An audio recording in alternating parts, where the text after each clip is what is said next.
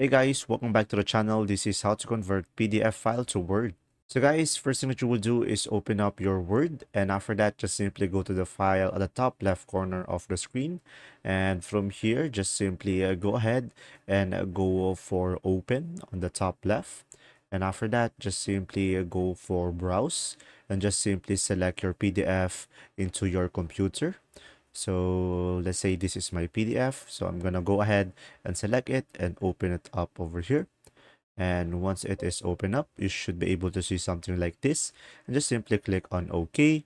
And after that, it will convert it into the Word. And once you have done that, you can just simply go to the file at the top left again.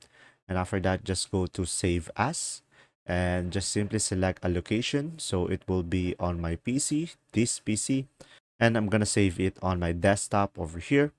And after that just make sure the save as type is Word document. And from there just simply select a location and click on save. And after that when you go to the file location you should be able to convert your PDF to Word. And there you go. If this video was helpful please like and subscribe. And thanks for watching